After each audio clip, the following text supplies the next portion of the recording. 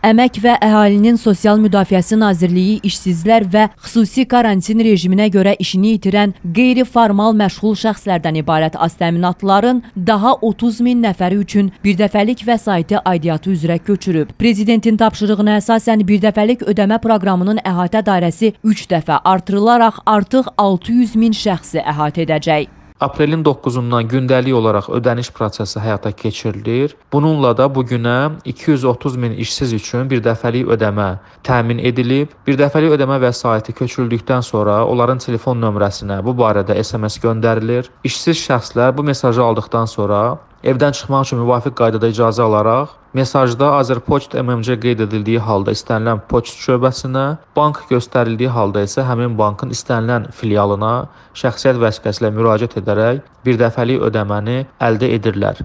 Ödənişlər e, bu günlərdə də davam edəcək. Bilirsiniz ki, aprelin sonunadək, mayın əvvəlinədək birinci ayın ödənişləri həyata keçiriləcək. Növbəti ayın ödənişlərinin həyata keçirilməsi üçün də e, dövlət başçısının tapşırıqlarına uyğun olaraq hər bir vətəndaş üçün bank hesabları açılacaq və onların bank hesablarına bu vəsait vəsait köçürüləcək.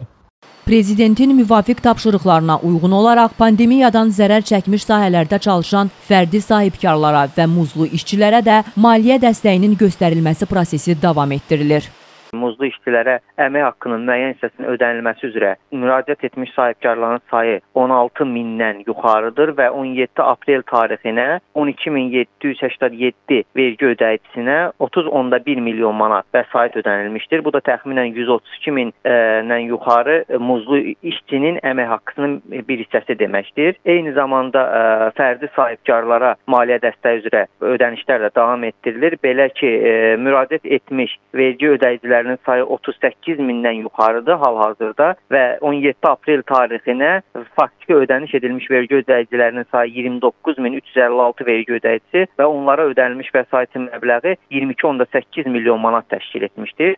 Və qeyd edim ki, əlavə olaraq, yəni bu ə, ödənişlər üzrə hər bir vergi ödəyicinə dair xüsusilə də bu muzlu işçilərin əmək haqqının ödənilməsi üzrə vergi ödəyicilərinin siyahısı mütəmadi olaraq, yəni yenilənməklə İqtisadiyyat Nazirliyinin ə, saytında yerləşdirilir və bu barədə ictimaiyyətə məlumatlar təqdim edilir.